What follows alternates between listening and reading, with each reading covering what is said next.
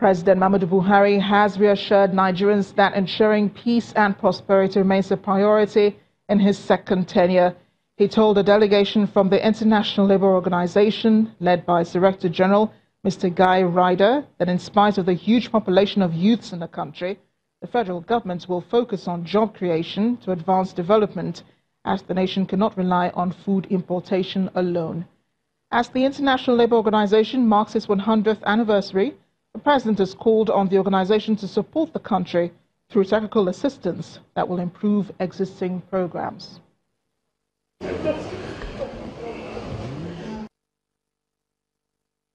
I want to assure you that I will be following your deliberations with interest, keeping in mind that job creation is a key priority for this government. 65% or over 120 million Nigerians are under the age of 25. As a government, our priority is to ensure peace and prosperity for all our citizens. On infrastructure development, we attacked head on the big deficit in power, roads, bridges, rails, and housing.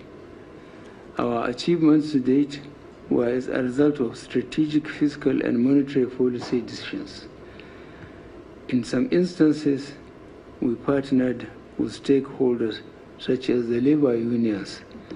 As we move forward, we hope the International Labour Organization and other partners will support our program through technical assistance and other interventions that will improve our existing programs and develop new ones.